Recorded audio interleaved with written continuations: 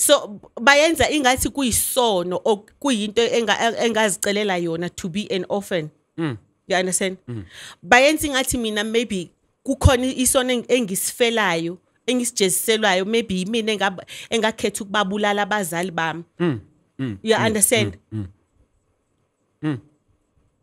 Because every chance they get they make me feel ukuthi a- akekho omunye umuntu enginayo akukho la ngizobalekela khona.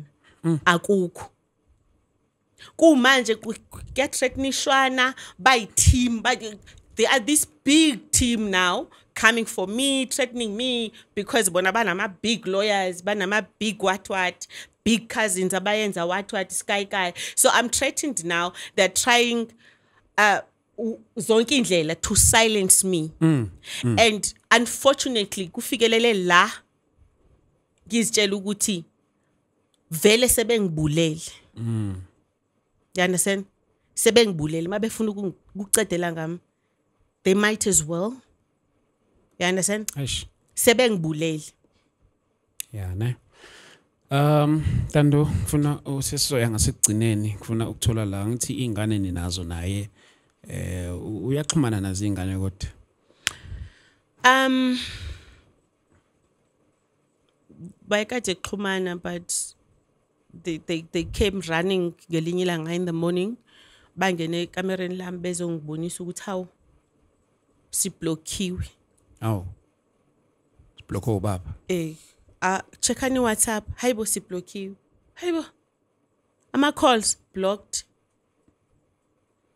and then abanye abantwana laba nabo bakhe bazama kwasho ukuthi ifone i- i- ixuthiwe. Basend message ukuthi siyani we miss you guys. Kanti what is happening?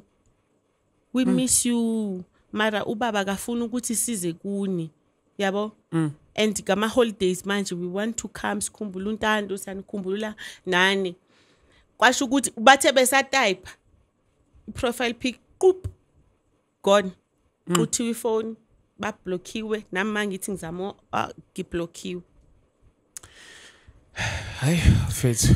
so how do you communicate nomuntu onjalo ke no, good tough. yabo Afethu, em nilapho ngiyazi ukuthi you can drop your comment sizobona ukuthi umuzwa wakho uthini ngalo lolu daba. Sesibhenga sekugcineni angeke nga- ngalenza iphutha lokungayenzi lento.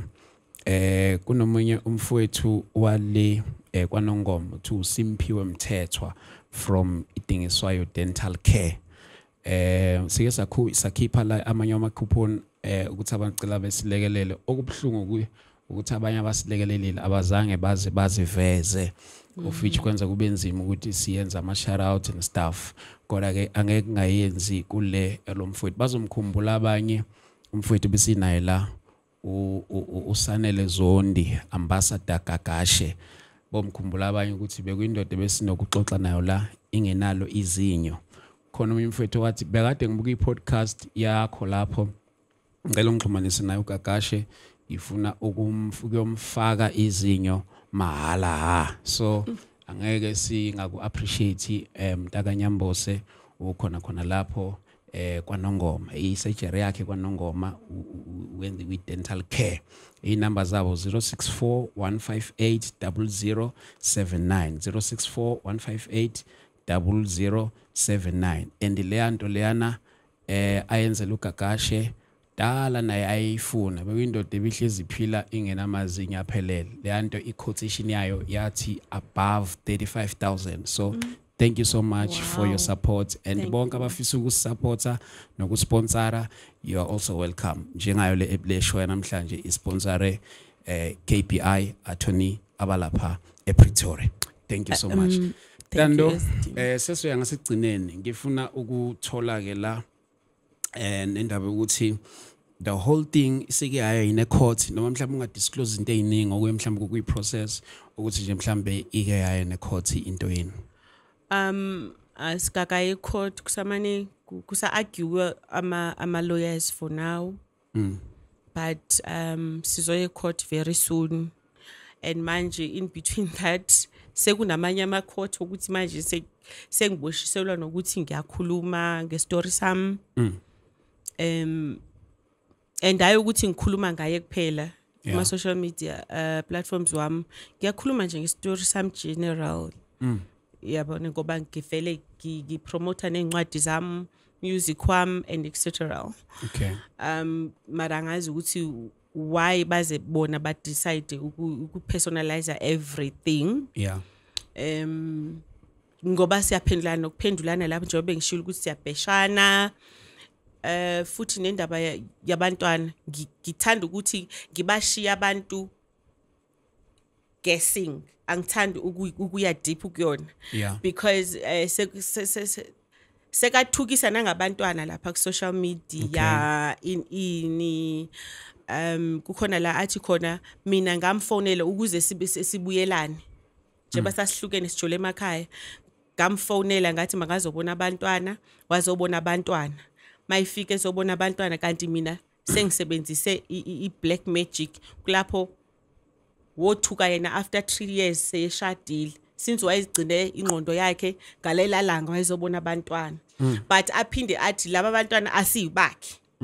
Ah ingathi uba- ingathi unikeza abantu the impression that ngabathola ngesikhathi ngangirechiwe ngangike ngarechwa ngithi i'm right I, i have a book about that as well.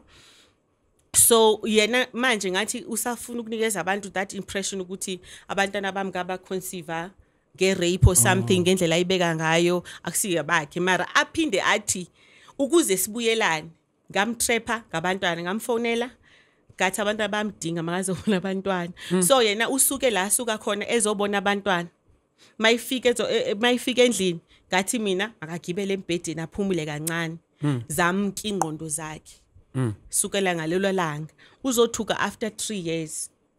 Sethuka ukuthi hayibo ushade nami kanjani?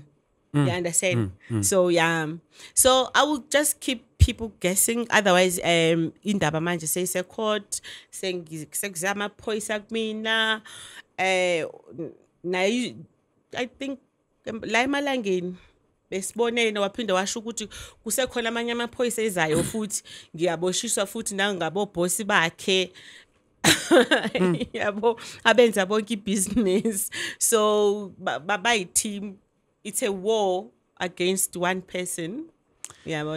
So yeah. Yo, na i-advice yami bafowethu mhlawumbe na my brother lapho you are watching me uh please ngicela ukuthi lento bafowethu niyilungise outside social media if possible. Uma ngingaba nendlela ngamane ukuthi kuba namaphoyisa nizoba ndawonye niyilungise kahle lento mhlawumbe nawe ntando this thing ya social media engathi mhlawumbe bafowethu ningaba nendlela yokuyilungisa outside social media because iyahlupha ngoba ugcina noma into noma ngabe ibingalungiseka ibincane kodwa igcine yenza ingabi idamage isalungiseka because enkulu isinabantu abaningi abayi-hospitayo Yeah, yabo? yeah, so true. noma wena usekho lapho kodwa abantu basasele kuleyo ndaba leyo-ke. That's So- true esteem na I, i will acknowledge that ngivumelana nawe futhi kakhulu. And it goes back to the importance ye communication. Sure. I think if besingabantu abakhonayo ukucommunicator if besingabantu aba aba abathi noma ngabe umuntu wenza leyo nto ayenzayo yeah. anga anga anga angangilahleli ngaphandle mayisathola intombi entsha or something Si- siqhubeke sicommunicate njengomfazi nendoda. I don't think we would be here mangabe besi- be- be- be- besingabantu abacommunicatayo ngabe asiyona le joke esiyiyona njengamanje kuma social media you understand? But th- these are the results yokuthi eh kumane kuthiwa mani nenkinga kuthiwe just ignore it.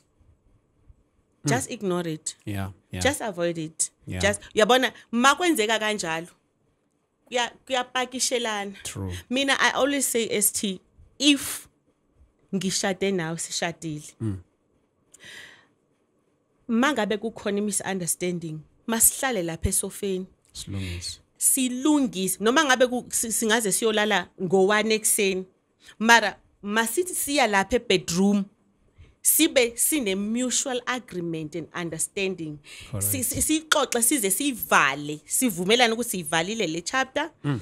Siqedile ngayo angeke siphinde M- mara manje masizoloko kuba khona izinto ezi- ezi- ezi- ezishiywe zi- zi- zi- zisithi pending these are the results mm.